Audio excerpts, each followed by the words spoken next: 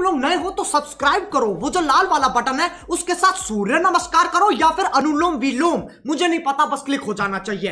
Hello welcome back guys this is देख रहे हैं हमारे YouTube channel and for editor तो गाइस आज हम कुछ इस तरह से कलर ग्रेडिंग फ़ोटो करने वाले हैं। तो आप भी अपने फ़ोटो में अगर कुछ इस टाइप का टोन लाना चाहते हैं तो वीडियो को लास्ट तक देखें। तो चलिए वीडियो शुरू करते हैं।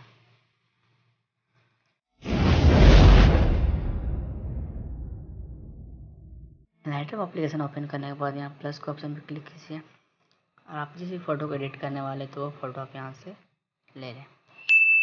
तो मैं ये फ़ोटो ले लेता हूँ। तो सिंपली से आप जो फ़ोटो लें उस पर क्लिक कीजिए। इस पर क्लिक करने के बाद आप सबसे पहले यहाँ पे कलर के ऑप्शन पे आइए। कलर के ऑप्शन पे आने के बाद सबसे पहले इसका आपको टेम्परेचर हाई करना है तो इसका टेम्परेचर फिफ्टी के आसपास रख देना दें।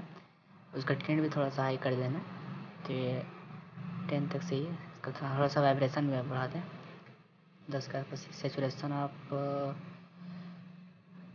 फाइव के आसपास रहना है सिक्स सही है। उसके बाद आना है यहाँ मिक्स टूल पे।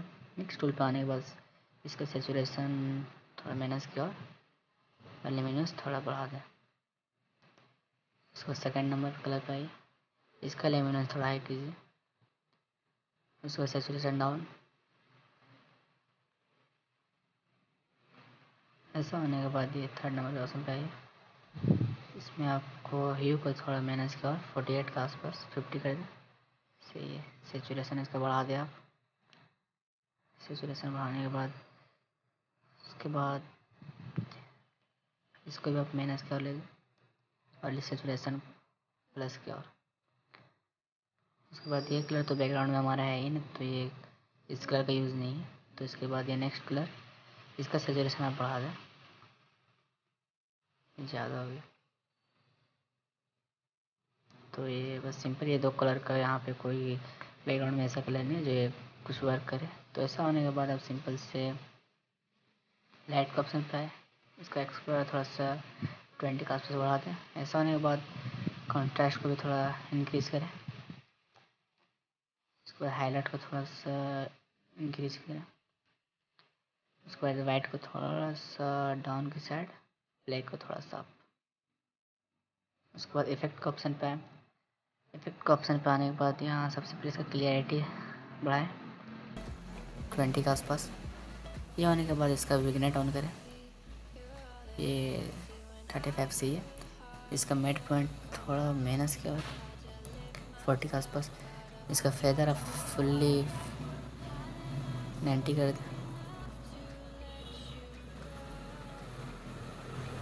एटी फाइव सी इसका राउंड शेप थोड़ा माइनस किया टेन के आसपास। तो ये हमारा फ़ोटो एडिट हो चुका है। तो हमारा फ़ोटो कुछ इस तरह से था और हमारा फ़ोटो कुछ एडिट हो गया, ऐसा हो गया।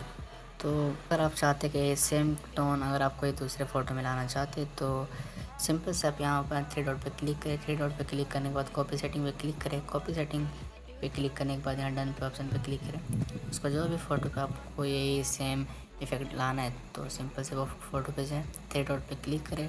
थ्री डॉट पे क्लिक करने के बाद पेस्ट के सेटिंग में डन करें। तो देखिए हमारा फ़ोटो बस एक ही क्लिक में ऐसा हो गया। तो इसका थोड़ा सा फेस का कलर आपको इंक्रीज़ करना तो ये मिक्स टूल पे आके आप कर सकते हैं। तो यहाँ पे हो गया। तो बाकी बात इसका फेस अलग से रिट्रेस करना पड़ेगा। तो देख सकते हैं हमारा फ़ोटो काफ़ी अच्छा हो गया एक ही क्लिक में। तो ऐसा होने के बाद अब अब नेक्स्ट फ़ोटो पे आए। नेक्स्ट फ़ोटो पे आने के बाद सिंपल थ्री डॉट पे क्लिक करें, यहाँ पेस्ट का ऑप्शन पे क्लिक करें। तो देख सकते हैं हमारा फ़ोटो काफ़ी अच्छा एडिट हो जा रहा है एक ही क्लिक में। तो एक और फ़ोटो है वो लास्ट तो मैं इस पर भी सेम वही करना थ्री डॉट पर क्लिक कीजिए पेस्ट का ऑप्शन पर क्लिक कीजिए। तो देख सकता है एक ही क्लिक में हमारा फ़ोटो कुछ इस तरह से हो गया तो ऐसी और इंटरेस्टिंग फ़ोटो एडिटिंग से रिलेटेड वीडियो देखने के लिए हमारे यूट्यूब चैनल को सब्सक्राइब करें। तो चलिए मिलते हैं नए वीडियो में, तब तक के लिए बाय